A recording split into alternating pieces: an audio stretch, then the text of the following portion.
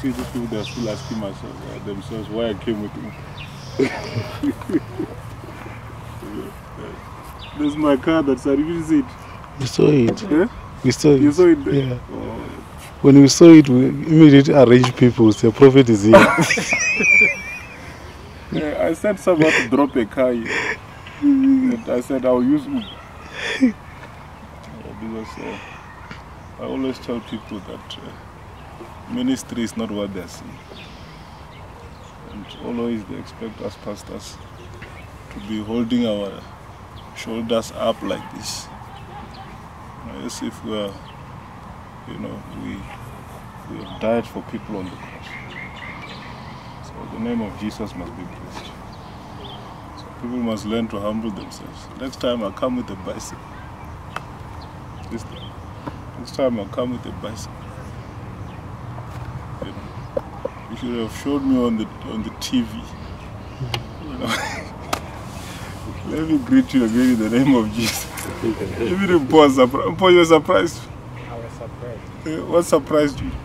because when the car Because the man of the Uber, even himself, said, hey, I'm, I'm, I'm confused. Eh, I said to him, Stop here. He said, But these people that are coming close to the car, who are these people? you know what he thought? He thought you wanted to hijack him. You know, because you see another one, you see, you were coming this side, so was also coming this side.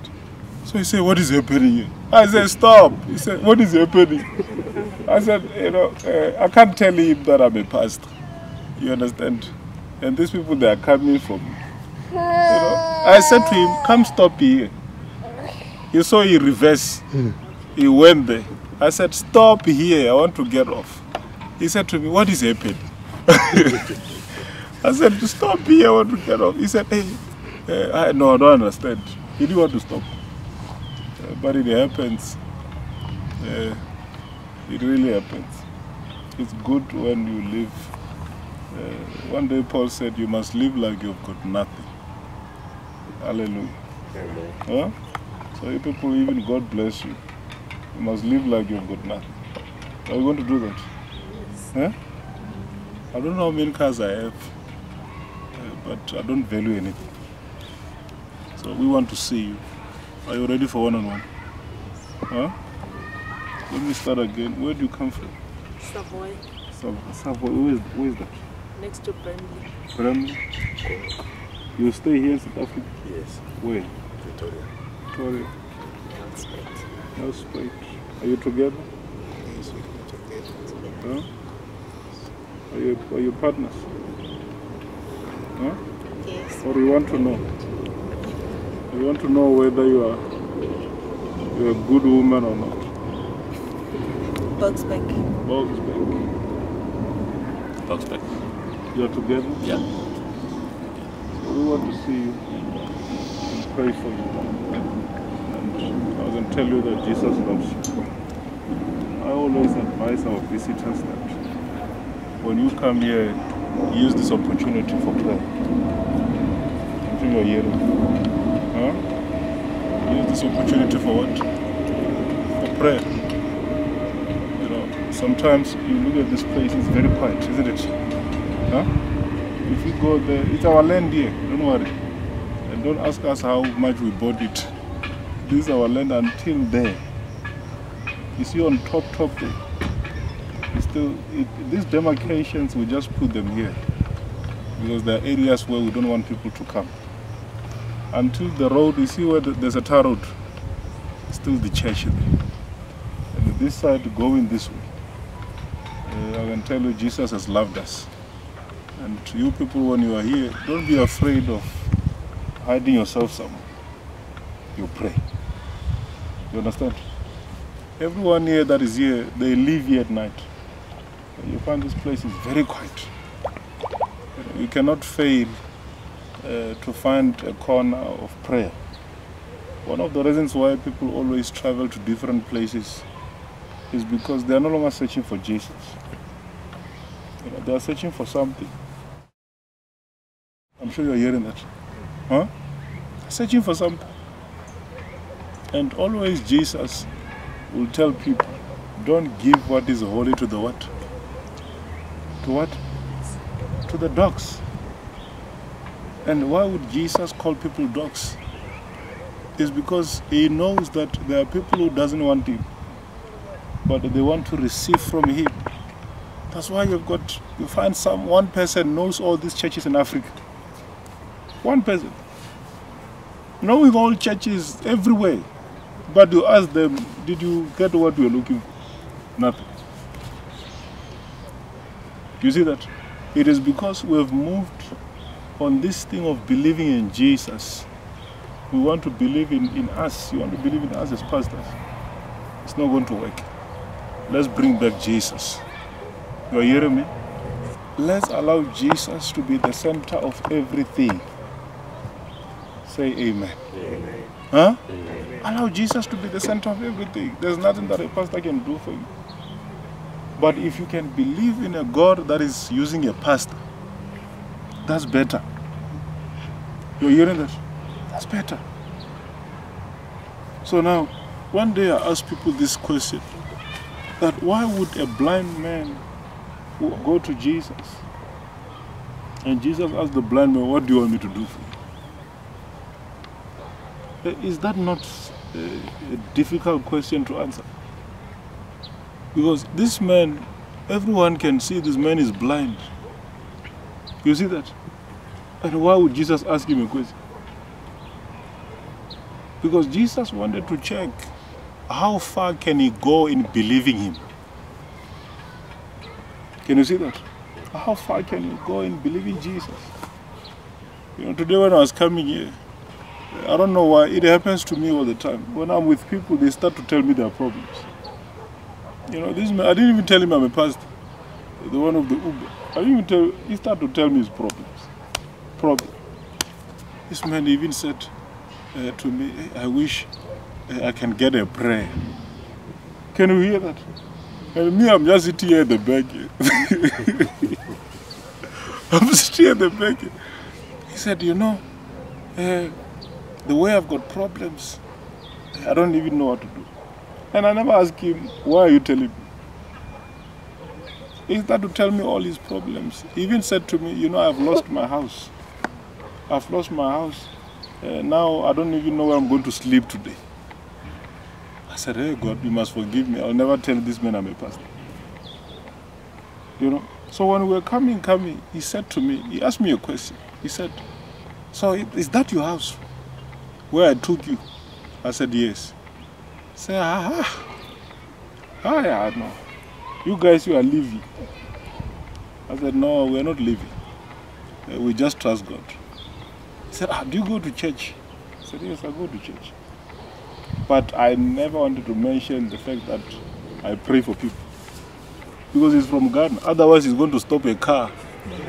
Come this way. He kneel down. I know African people. Do you know African people? How much they trust God? Huh? That man was going to stop. I'm telling you the truth. That man was going to stop a car and come this way and kneel down and say, please bless me. You know, I've prayed for so many African people. If you saw, if you see the humbleness of these people, you can be shocked. So if our faith can also be like that, we can go far. Hallelujah. You are ready for one on one? Yes, sir. Are you ready? Huh? You got faith? Hey. Sister, what happened to the money? The rough man. Hmm. They gave me something.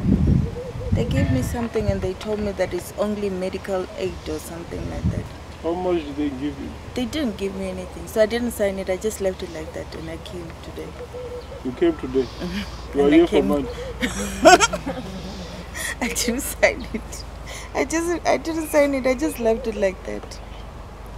So you are here. no, I'm, You see what I was telling you? and, and, and I'm sure when you come here, no one asks you anything. no, they. Uh, I also want to tell you, uh, normally our visitors, they get the privilege of seeing uh, me and my father in the Lord. Uh, but already I've started to prophesy. So you are here for, so when do you want the money? Immediately. Immediately. Is that your husband? Yes, it is. Eh? Mm, I believe there's a fight also at home. Uh, we need to pray for the family. I don't want you people to die. You hear me? I will pray for the church. I don't want you people to die because of these things that are happening. The way you people you're, you're fighting. Don't, even buy a smile when someone is pretending. I'm sure you're hearing me. Don't buy it. And You know, you know what I'm saying. So when were you supposed to sign for the man? Um, it was, I think, two weeks ago. Can you see God is good? Huh? How do I know that he was supposed to sign for money you? But she knows that what she's here for. So we pray for it. I believe uh, they are not being honest with. But after prayer they'll be honest. Because they wanted me to sign immediately, but I refused. But they didn't di- disclose how much of it. Mm-mm. They just, they gave me like a medical sting to say I must sign for it. with corruption in it. Don't allow it. You hear my brother? Yes. Don't allow it. Are you a Christian? From when? When did you start to be a Christian? I can't even remember the year. You don't remember the year? Yeah. Musa wanted. Ah, not exactly. You've been a Christian all along. Yes. Were you drinking? Yeah, I used to drink a long time ago. So you stopped. Yes. You people, God is going to bless you. Uh, I'm just trying to, I'm not here to condemn you. I don't have that right. Uh, anyone who comes to Jesus must never be condemned.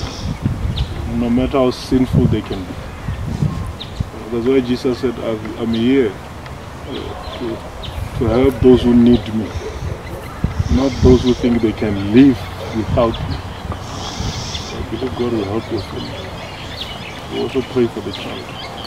God already have answered this lady. If, if I say to this lady, go now, one on one is finished. I said, I said, rough heads up, the child. She's here for that. But why is they are doing this with my money? Yeah, I was worried a lot. Eh? Can you hear that? what's Pepper going on? I told these brothers one day, I said, if you can be like me, one on one, if people can have faith, I can do it within two minutes. I finish because it's not about time, it's about the results that are coming. It's okay, it's okay. You understand that? So maybe I can start.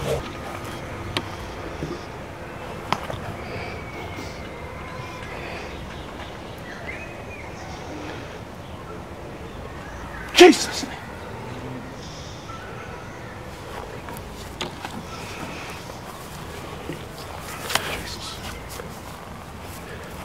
Jesus.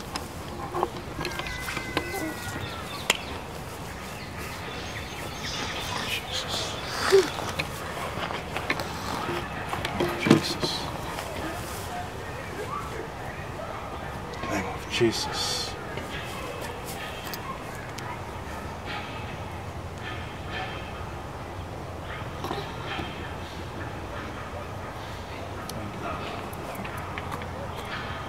Jesus, mighty name. I feel it. Come, sir, let me touch you. Uh, the uh, what is happening in in the dog? And the boy, the, the muscles are they said this part is not corresponding with this. So when he turns, he actually ka matla. Does he have to sit like this? They said he will sit like that because the they're not corresponding anything. Both of them. Both of them. So when he he just sits like that now and then.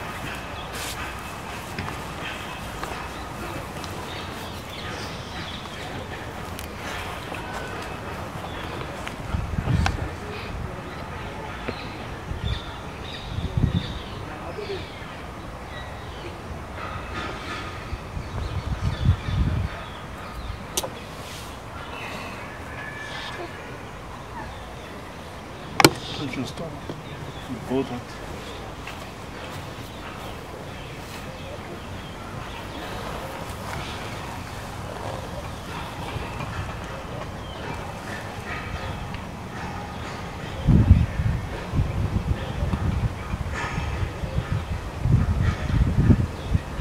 Jesus.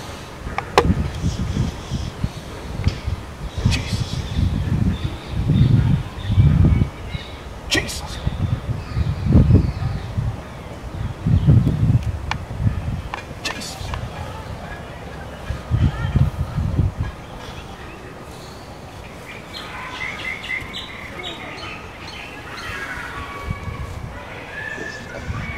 Jesus.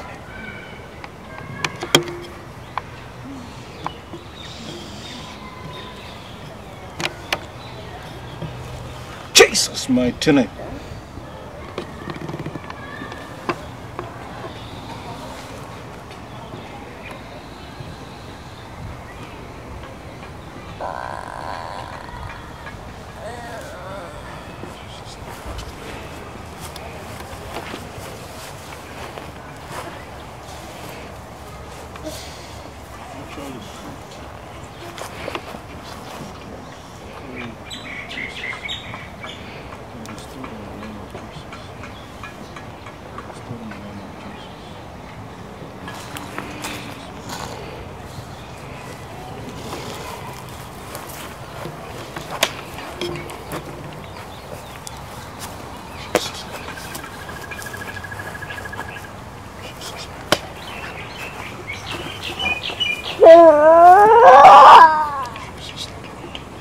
Thank you, Lord, for fighting for this man. Thank you, Holy Spirit. In Jesus' mighty name. Amen. God bless you, sir. Mas, you'll receive your money. You'll receive. God bless you.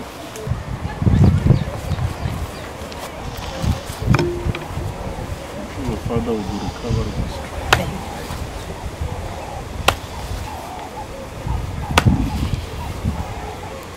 Are you coming as a couple or as single?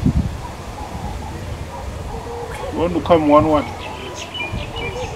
But are you not together? Jesus, you're free, Mama. Um, hi, my name is Leah, and this is my husband.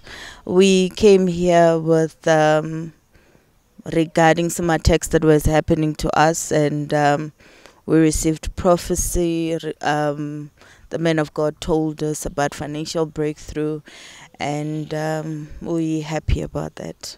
And it's not our first time. We keep on coming every single time. And I was having too much attacks when it come when it came to my um, my dreams, but um, the man of God told me that it will end. So um, I'm just happy for this one on one, even though we do it every single time. Um, I just want to say thank you to the Lord God Almighty for um, for everything that He has done for us and being able to show the man of God what we were going through and being able to um, to read well and the Lord redeemed that. So we just want to thank say thank you to the Lord God Almighty. I was having too many problems, too many attacks when it came to my um, my dreams. But the man of God uh, told me that it will end, and he prayed for me. And the same with my husband. Also, he was having problem uh, whereby he was attacked in a way that he was um, having problem. Uh, his prayers were not the same like before, but we are all delivered and everything is fine. And yeah, while I was sitting, the man of God prophesied to me, and he asked me about some. Uh, financial problems that I was having, and he told me that everything will be sorted and then uh, all my financial problems will be over. So, yes. I was having financial problems. There was something that I was waiting for, but apparently that thing was got uh, got delayed, and I received some letter that was actually that I was supposed to sign, but I didn't actually sign it. I just left it like that. So the man of God actually touched on that one before I could even tell him anything about it. So it was more like a contract that I was supposed to to sign, and then I didn't sign it. I just left it like that. But he said it was good that I didn't actually sign it because um, I didn't sign it. But he prayed for me, so everything will go will be well. Yes, after receiving the prophecy, I was actually very excited because I understand. Um, I was happy that God will actually will always reveal His secret, our secret, to the men of God, and for us to be for us to be redeemed and be delivered. So I was happy because of that. So yes, I would- I would like to advise the viewers that. Um, they must always have faith and believe that the Lord God Almighty is the God that answers by fire, and He always there to actually to assist us and to He's always there. He's always there to protect us and to assist us in all the time, and His word is always. It's always the best. There's nobody. If God says yes, nobody can say no. So that is my advice. That faith is very important, and pray prayerful. It's very important you know the bible says that pray without ceasing so it's very very important so that's my advice to the viewers